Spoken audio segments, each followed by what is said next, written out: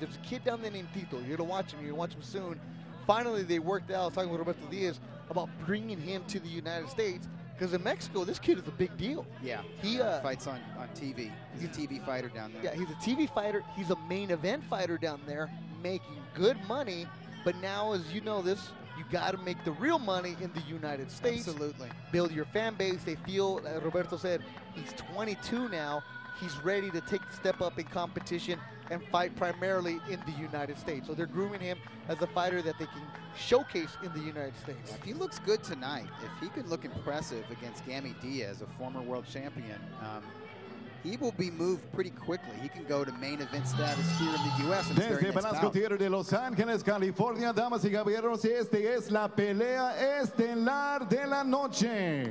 Ocho asaltos en el peso super ligero. And here we go, ladies and gentlemen, with the main event of the evening. Eight rounds of boxing this scheduled in the super lightweight division.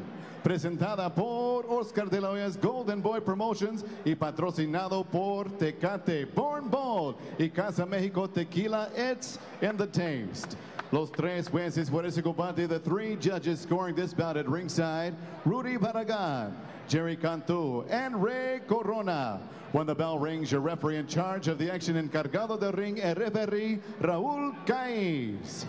And now, ladies and gentlemen, the judges are ready and the fighters are ready. Los Angeles, make some noise if you are ready!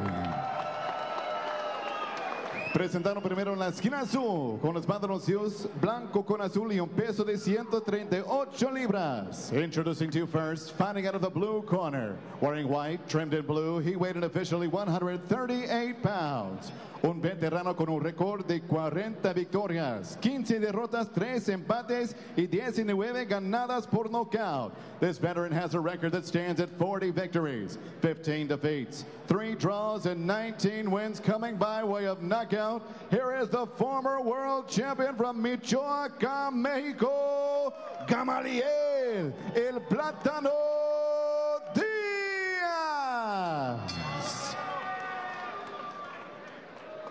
sobre en la esquina roja, con los patrocinios azul con dorado y un peso de 137 libras y medias. His opponent across the ring, fighting out of the red corner, wears blue, trimmed in gold, and he weighed in officially 137 and one half pounds. Su récord, 33 victorias, con una derrota, 27 ganadas por nocaut, 34 bouts as a professional. He has 33 victories, just one defeat, 27 big wins coming by way of knockout, presentando de los Mochis, Sinaloa, Mexico, and now fighting out of Phoenix, Arizona, Roberto Tito Manzanarez.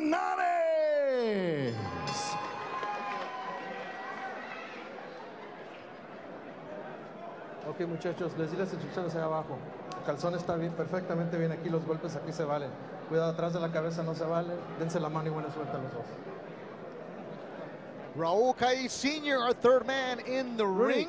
He's worked a lot of championship fights over the years. They're using the downtown LA skyline. Yes, it is raining. Get the San Marcos out. Stay dry, stay warm. Here's the tale of the tape, Dougie. Yeah, obviously Manzanarez, the younger man, he's 22. Diaz is 36. Diaz has a slight height advantage, but Manzanarez with a significant reach advantage.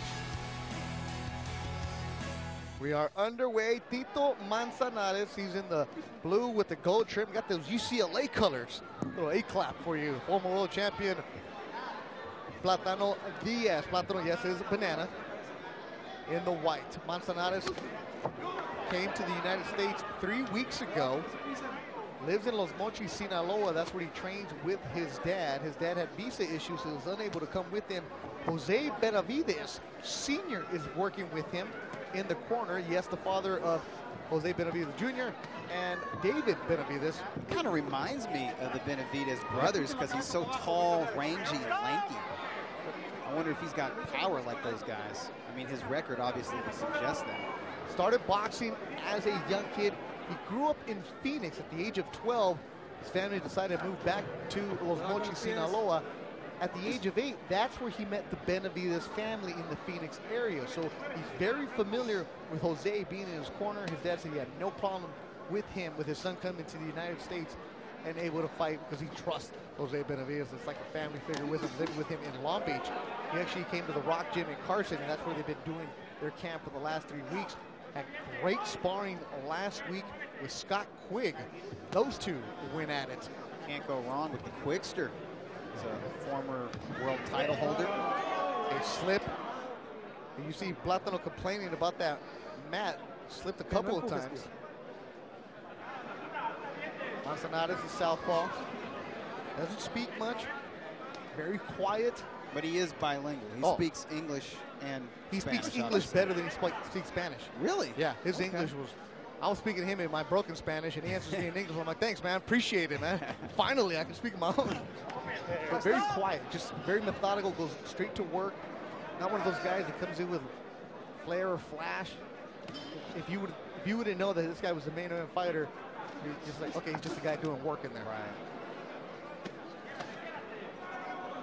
He's in eight round main event, Belasco Theater, LA Fight Club main event. If he can look good against Gammy Diaz, who knows? His next fight could be a, an HBO Latino Yep. co-feature main event or an ESPN main event.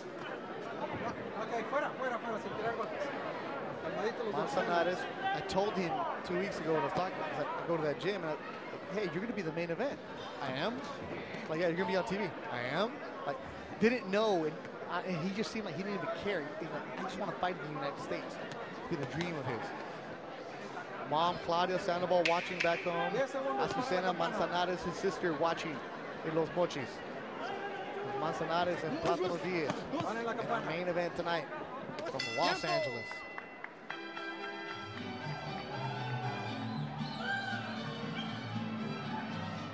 Eso, eso. Viva México.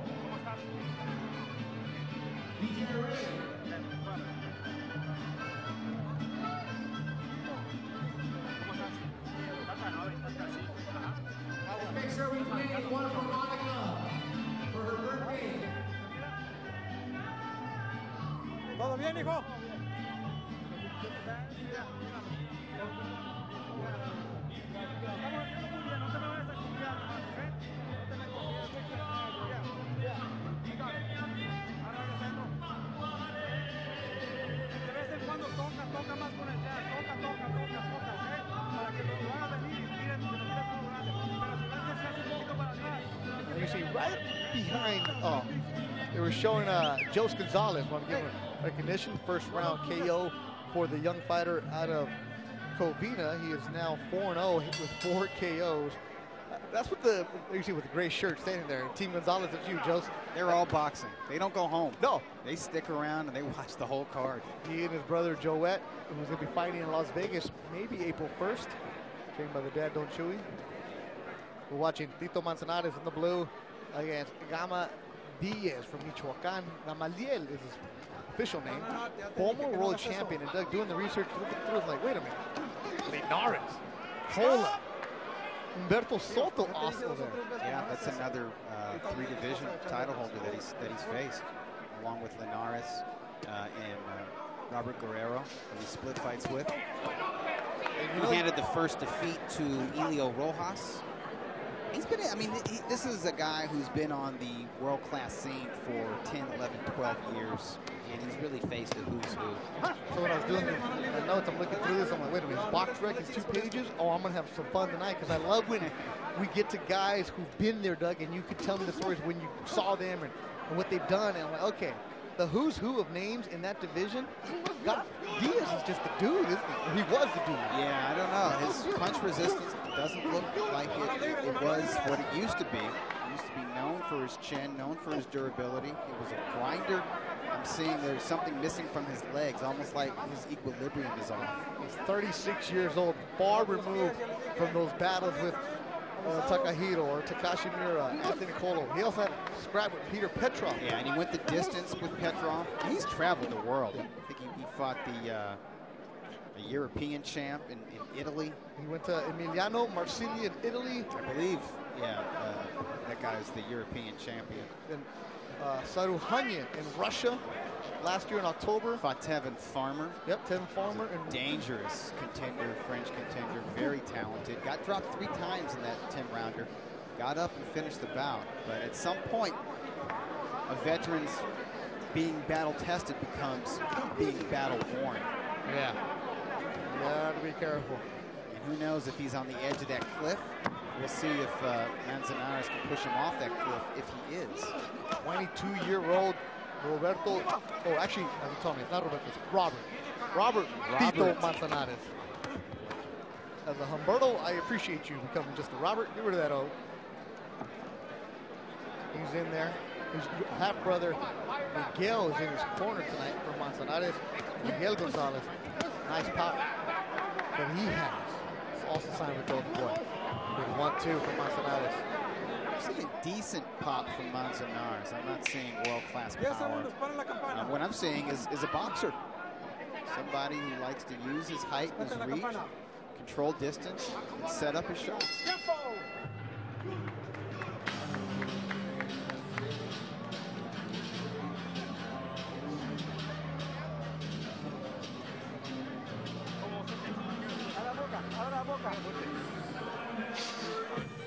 Abre la boca.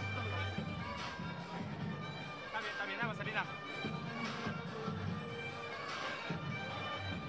Ya, quítate agua en la cabeza. ¿Todo bien, hijo? Yo sé que es difícil cuando es zurdo y derecho. Nomás no te, no, no le hagas el pedo.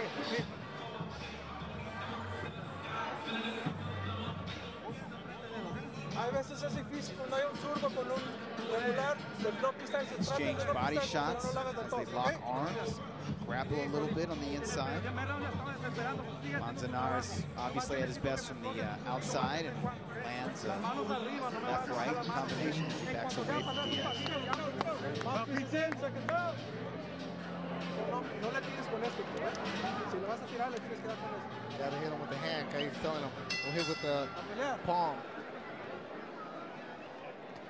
Third round of action. Tito Manzanarez, the southpaw. Said he could switch, but he's comfortable as a lefty. Favorite fighter growing up, Oscar De La Hoya. He's an honor sign with Golden Boy Atrás en la Promotions. Manzanarez. Manzanarez, the southpaw. Asked him, you know, what else do you like? You know, baseball, soccer? He's like, no, not really. I was like, so what? You're not a Real Madrid soccer fan, a Club de Cuervos fan? You know, he's like, baseball. You know, los mochis. A lot of baseball players. Like, Right. No. So what do you like? Boxing. Just He's all boxing, yeah. yeah, he's all yeah, I kind of watch it, but not really. And like you have to have that focus. He said. Believe me, it was like pulling teeth talking to this kid for the last two weeks. Also didn't help that he doesn't like getting bothered at the gym from being that guy there. you, you He's gonna like have to that, get, yeah, he's gonna have to get used to it. He's got the, the professional experience where who knows, maybe in another fight or two, he could be taking on the winner of that April 1st showdown that you spoke of between Antonio Orozco and Keandre Gibson. Those guys are junior welterweights. They're junior welterweight contenders slash fringe contenders. He's got the record of a contender. He isn't. Look at say, come on, There's the mijo. Little smirk in his face. I wonder if uh, boxing from the orthodox stance, if Manzanarez would have a stiffer jab. Just kind of flicking that, that right jab out. From the southpaw stance, he doesn't really snap that jab. He's just kind of trying to be pesky with it. Maybe maybe he's got a lot of power with his left, and he's just looking to land big left hands. But I'd like to see a stiffer jab, to be. You mentioned Keandre Gibson, Antonio Orozco, Golden Boy matching up their own together. Somebody's always got to go. It's, you know each other. You're friendly. It's not a team. It's a tough fight to call. I don't know who wins that fight. And Roberto that's the kind of fight. Yeah, that's the kind of fight that uh, hardcore fans get excited about. That's why hardcore fans are excited right now. They're excited about, you know, uh, Joshua Klitschko uh, and, and Canelo Chavez and, and Brook Spence Yeah. because they're not quite sure who's going to win. That's the same thing we got with this uh, Orozco Gibson fight. I, you know, Orozco's got more experience. It's a little more advanced, but, but Gibson's got a lot of talent. And also real Roscoe fast. moving up in division.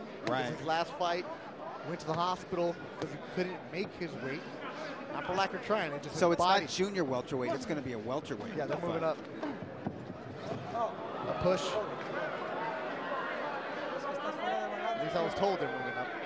That's, that's probably a smart thing to do. Final seconds of the third round. Tito Manzanarez, Plátano Diaz. Main event, the Belasco Theater in downtown Los Angeles.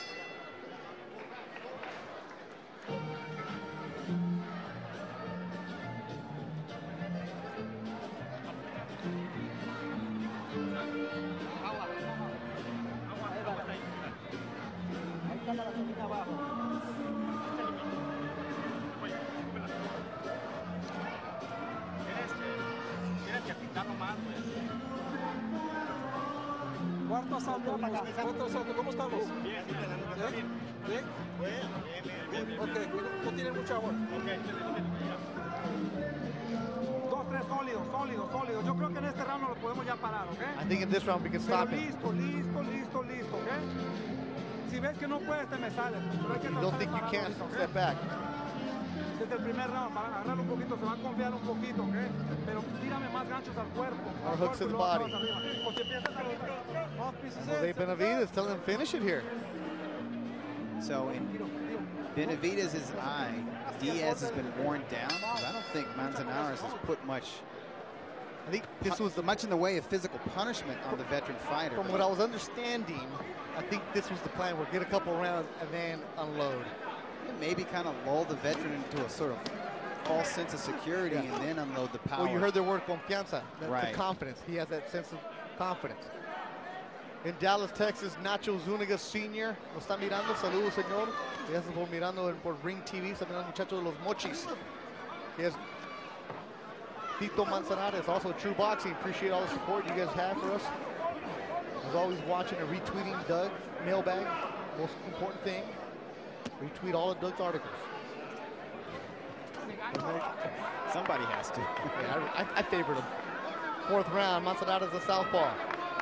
He is sneaky with that left hand, and in a way that I don't like the flicking jab, but it does blind the veteran a little bit momentarily for him to land that left.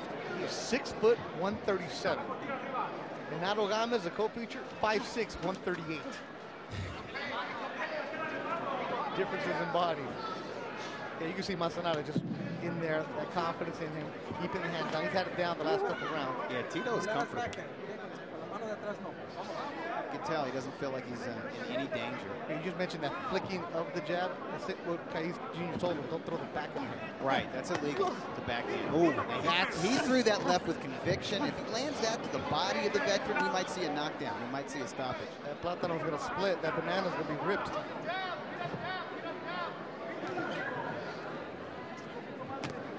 Blood, a little bit of, of mouse underneath the right eye. Of the former world champion Diaz. Sonata's had to get his passport to come to the United States. Keep those passports ready. Doug, you gotta keep it ready if you're gonna go to England and watch another fight. It's true. I'm good. You never know I, I had to get a new one, just like you did before we went to Montreal for the That's David right. Lemieux uh, Hassan N'Dam fight. Oh, that down he goes. Shot, there it is. Benavidez Cuatro. knew what he was talking about. That delayed Seis. body shot. And I don't think he's getting up, Doug. ocho, nueve, diez. It is over. A stoppage. Fourth quédate, que ya round se cayó el body shot ended for. Tito Manzanarez. He took his time, took his time, and he ended it. Knocks out the former world champion, Platano Diaz. Oh, he is in pain. Te vas a That is a mejor. 22-year-old hook coming at your body. When you're 36, Doug, you mentioned it, those miles, that toll, and here it is. Yeah. Oh! oh, and it was on the sweet spot. Oh. And he was he, was, he had started to load up with the left to the body, just as his trainer told him to do, just as Benavidez told him to do between rounds. He missed a couple of them, and you knew if that that's shot that lands, delay. he's going to go down, and he did it. He finally landed it. That delay is what got him. The young man barely broke a sweat. Yeah. I mean, the face is clean. He was in control the entire time. It wasn't dynamic stuff. I mean, No. he didn't go out there and just tear apart the veteran fighter. He took his time. He set that trap. And he is de- he is a, a southpaw boxer puncher. That's how I would that's how I would describe him. And the power isn't evident from the onset. It's not like everything he throws is powerful. He's kind of sneaky with it. Now, he's warning him about flicking that jab with the backhand. He's like, I was this close to taking a point away from you. Hey, there's also different referees in the United States. They look at it different than they do at the Pepe shows in Mexico. That body shot, though. 36, right on the ribs. That might be the end of a very distinguished career. Heck of a career. Yeah, Gammy Diaz has seen all phases. He's been a prospect. He's been the opponent. He's been the fringe contender, the gatekeeper, the world-class contender, the title holder. And finally, you know, the journeyman. And when you go out with it against a 22-year-old, a lot of potential in him. Well, it says something that Manzanarez was able to take him out, whereas uh, Peter Petrov, who we know is a beast, a grinder, couldn't stop him. Tevin Farmer couldn't stop him. Emiliano Marsili, the European champion, unbeaten in a lot of fights, couldn't stop him.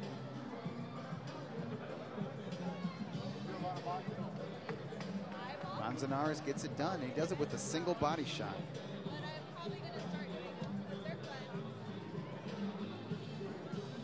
Hear Joe Martinez chatted up with the Tecate gal.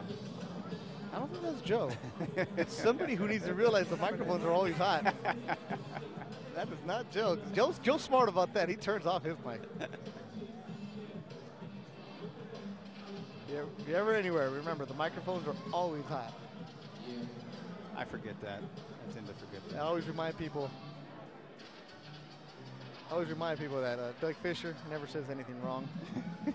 now Steve Kim, on the other hand, always just says it right. Yeah, but you, you get blamed for it, but um, Hey, it don't matter, baby. sometimes you get those phone calls. As long as the check clears, I will let him know to go to Will Wright. He will answer all complaints. Complaint department for Will Wright, you email Dougie at boxingmailbag.com. That is all complaints right there for you. Because I, Doug, I can't even imagine the emails Oh, that you get about I don't mind complaining. complainers. Oh, yeah. I mean, it, it keeps things interesting. But you get the people complaining about articles that you didn't even write. Oh, yeah.